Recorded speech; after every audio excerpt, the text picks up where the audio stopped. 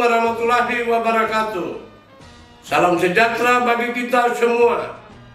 Shalom. Om Swastiastu. Nama budaya.